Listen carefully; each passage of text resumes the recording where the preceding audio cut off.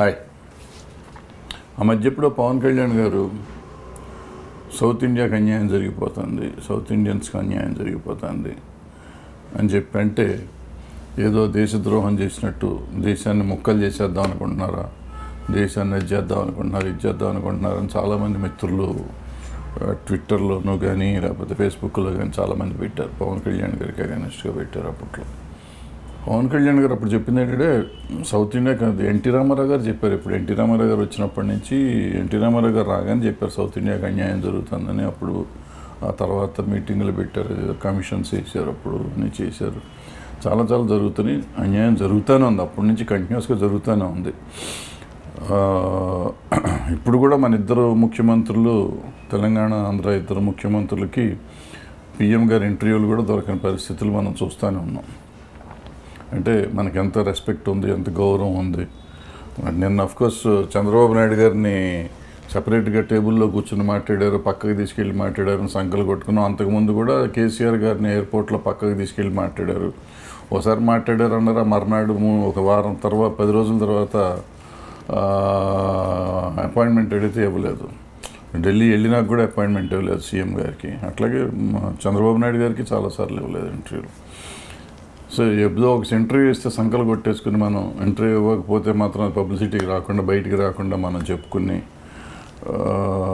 మన మీద జరుగుతున్న వివక్షతను గురించి మనం మాట్లాడుకోకుండా మనకి ఏమీ లేదు అంతా బాగానే ఉందని అడుక్కుంటూ ఎంతకాలం ఇట్ట బతకాలి అనేది ఒక ఉంటుంది.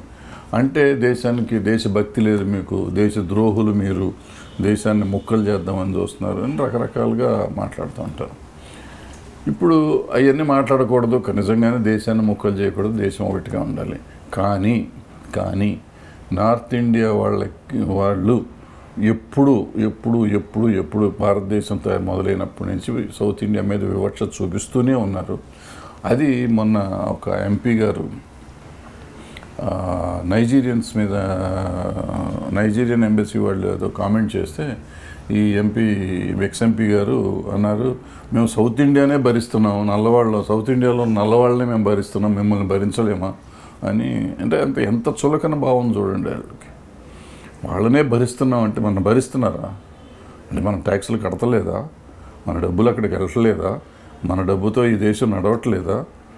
వాళ్ళ డబ్బులు ఏమైనా ఇచ్చి నడిపిస్తున్నారా మనని? మన బతుకు మనమే బతుకుతున్నాం కదా. ఇంక ఇన్ఫ్యాక్ట్ చెప్పాలంటే మన దగ్గర నుంచి వెళ్తున్న ట్యాక్సెస్ కంటే మనకు వచ్చే డబ్బులు చాలా తక్కువ సెంట్రల్ గవర్నమెంట్ నుంచి. ఇవన్నీ లెక్కలు వాళ్ళకి తెలియదా వాళ్ళు మన భరిస్తున్నారు అని చెప్తుంటే మనం భరించాలి. ఇంక దీని గురించి మాట్లాడితే వెంటనే దేశద్రోహులు అయిపోతారు. నిన్న పవన్ కళ్యాణ్ గారు అన్నారు United States of South India అన్నారు. చాలా బాగుంది ఏదో. అంటే ఏదో పేపర్లో వేరే న్యూస్ పేపర్లో వస్తే దాని గురించి మాట్లాడుతూ ఉన్నారు. సో ఇలాంటి వాదం తెప్పిస్తానికి మాట్లాడుతున్నారు. అలా మా తెప్పి తెచ్చి తెప్పించాల్సిన అవకాశ అవసరం తెప్పిస్తున్నారు ఈ కొంతమంది నాయకులు. ఏ ఎందుకు కండెమ్ చేయరు దాన్ని? ప్రధానమంత్రి గారి దగ్గర నుంచి ప్రతి వాళ్ళు కండెమ్ చేయాల్సిన విషయం కాదు. ఎందుకు కండెమ్ చేయరు?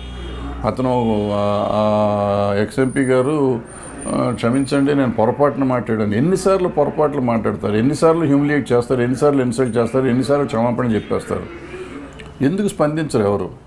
ఏంటి ఇది సీరియస్ ఇష్యూ కాదా? ఎవరో మాట్లాడేశారని తప్పుకుంటున్నా. ప్రతిసారి ప్రతిసారి ఎవరో ఒకళ్ళు మాట్లాడతారు మాట్లాడిన తర్వాత ఎవ్వరూ మాట్లాడరు. అదే మామూలు సామాన్యుడు ఎవరన్నా మాట్లాడితే బయటవాడు మాట్లాడితే మాత్రం ఇమీడియట్గా దేశద్రోహం అయిపోతుంది. మేము మాట్లాడితే దేశద్రోహం మీరు మాట్లాడితే దేశద్రోహం కాదా? అంటే మేము దేశద్రోహం అయితే మీరు దేశద్రోహులు కాదా? ఎవరు? ఎవరిని గురించి మాట్లాడుతున్నారు? ఎందుకు మాట్లాడుతున్నారు? అసలు నల్లవాళ్ళు ఏంటి? సౌత్ ఇండియన్స్ అంటే ఏమిటి? ఎలా అనిపించింది వాళ్ళకి? ఏమనుకుని చెప్తున్నారు? రేపు ఇటువంటి ఇంకా నాలుగు మూడు ముగ్గురు నలుగురు అన్నారంటే రేపు ఏమవుతుంది? నిజంగానే విడిపోవాల్సిన పరిస్థితి వస్తుందేమో. ఆ పరిస్థితికి రాకుండా ఉండాలంటే మనం అంతా ఒకటి అనుకుంటే కావాల్సింది గౌరవం ఆత్మగౌరవం. ఏ ఆత్మగౌరవం కోసం అయితే అన్నగారు ఎన్టీ రామారావు గారు ఆ రోజు పోరాడి తెచ్చారో ఏ పో- పోరాటంలో అయితే తెలుగుదేశం ఆవిర్భవించిందో ఏ పోరాటంతో తెలుగువాడికి ఒక ఆత్మగౌరవాన్ని నిలబెట్టాడు ఎన్టీ రామారావు గారు ఆ ఆత్మగౌరవం సౌత్ ఇండియాకు కూడా వచ్చే ప్రమాదం ఉంటుంది. ఆత్మగౌరవం కోసం పోరాటం జరిగిందంటే సౌత్ ఇండియా నిజంగా South India United States of South India అయ్యే అవకాశం ఉంటుంది. ఆ పరిస్థితి రాకుండా ఉండాలంటే కళ్ళు తెరవండి.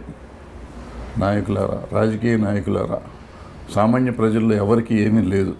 ఈ రాజకీయ నాయకులే వాళ్ళ వాళ్ళ అవసరాల కోసం ఇలాంటి ఎదవ ఐడియాలని ఎదవ డైలాగులు చేస్తూ ఉంటారు. ఈ పిచ్చి పనులు మానేసేయండి. పిచ్చి మాటలు మానండి. దేశాన్ని సమగ్రంగా ఉంచడానికి ప్రయత్నం చేయండి. దేశాన్ని విడగొడటానికి ప్రయత్నం చేయొద్దు. పిచ్చి మాటలు మానేయండి. దయచేసి మానేయండి. లేకపోతే మంచిది కాదు. Thank you. Short film contest announce చేశాను కదా. దాంట్లో మే ఎయిత్ లాస్ట్ డేటు. ఈ కింద చెప్పిన వెబ్సైట్కి I mean Amareddy Bharadwaj dot కామ్కి మీరు మీ అప్లికేషన్స్ ఆన్లైన్లో పంపించండి.